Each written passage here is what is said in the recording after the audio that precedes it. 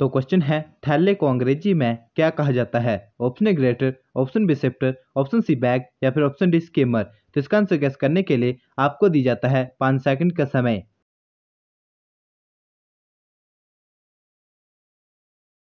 तो इसका आंसर होगा ऑप्शन नंबर सी बैग थैले को अंग्रेज़ी में बैग कहा जाता है।